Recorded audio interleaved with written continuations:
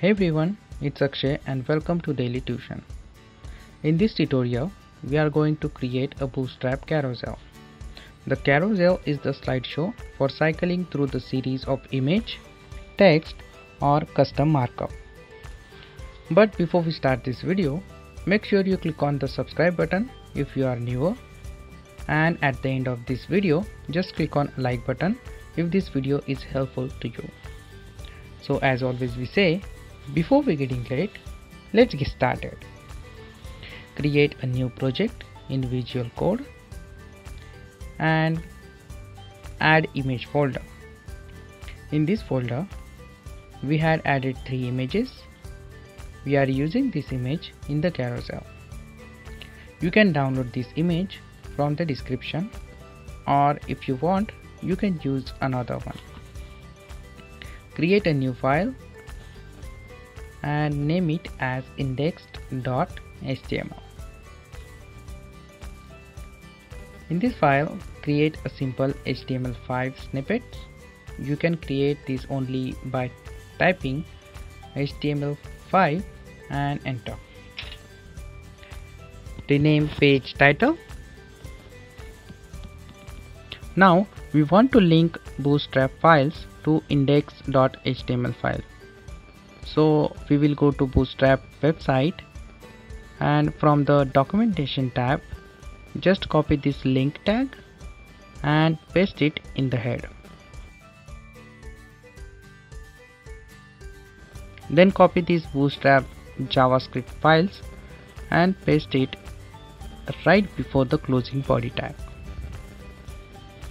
Don't forget to add these three JavaScript files because Carousel explicitly required JavaScript to run properly. After this, create a div with the class container. In the Visual Code, the simple way to create a div with the class is just to typing div dot class name and then press tab we have added width 75% and height 75% in this div we create another div with the carousel and slide class. And then specify id carousel example. And then create a data ride carousel. Using the carousel without data ride causes unexpected behavior if you trigger a slides via data slide annotate element. This seems to just trigger the cycle behavior instead of just sliding to the next or previous slide. Then create a div with carousel inner class. This class will add slide in the carousel so now we will add our first slide with the active state. So we will add div with carousel item and active class. In the first item we will add image tag and specify source image.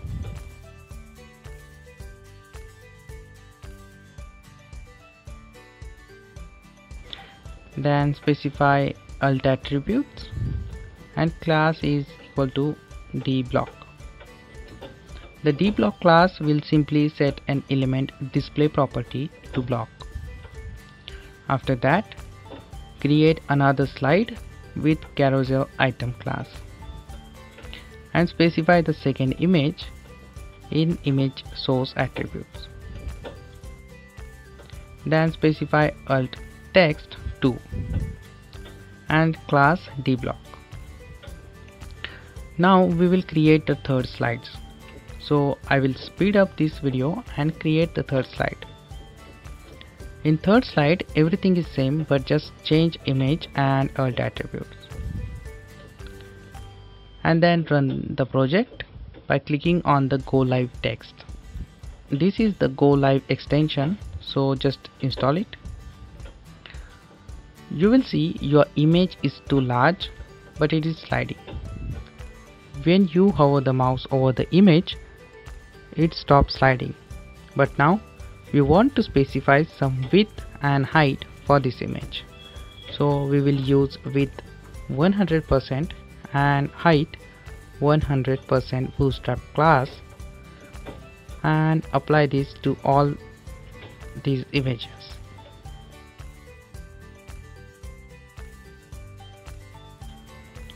now it looks pretty much better now. Afterwards we just want to add previous and next control over here. So we will add this control just after the closing carousel in a class. Create anchor tag. In href attribute specify carousel id and then create a class of carousel control previous and data slide previous. In this anchor tag create span with carousel control previous icon and aria hidden true. After this create span tag with sr only class and previous text this class is used to hide information intended only for screen renders or the layout of render page. You will see there is a previous control was created. Now we want to create a next button. So create an anchor tag with href attribute with id carousel example. And the class name is carousel control next. And data slides next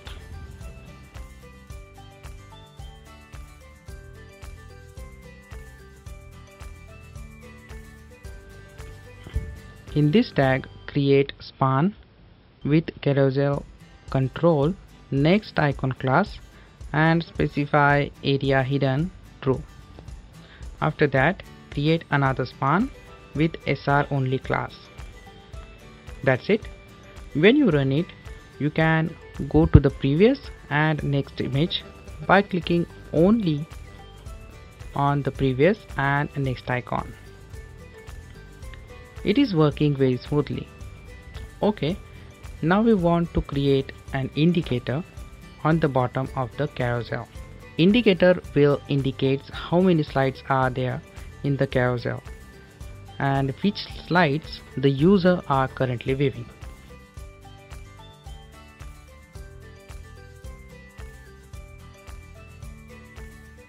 So we will create order list tag with carousel indicator class in the oil tag, create a list tag with data target carousel example. Keep in mind that in the data target specify exactly the same carousel ID.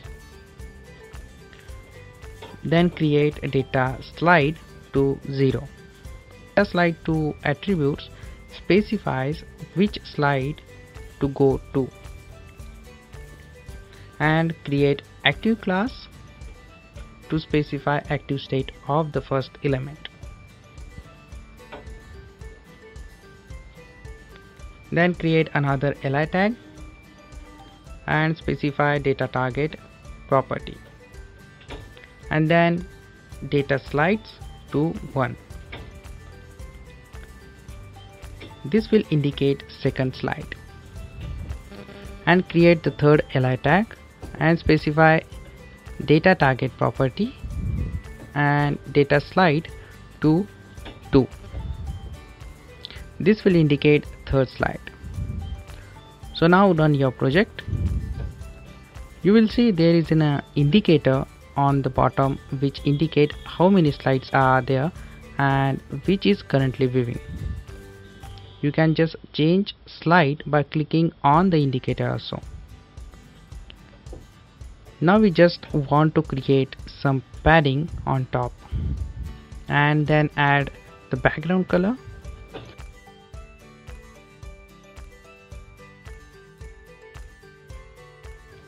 Then create the container class to the center carousel.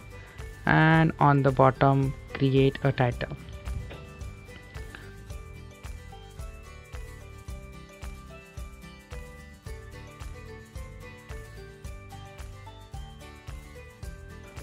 okay. Your bootstrap carousel is created now. If you hover the image carousel will stop sliding. You can slide image by clicking on the previous or next icon or directly from the bottom indicator. That's it. If you find something useful in this video then must click on a like button. And if you haven't subscribed yet then click on subscribe red button and also press bell icon to get notification of my every new video. If you have any question then comment me in the video comment section. That's all for today. See you in the next video. Till then be happy and keep watching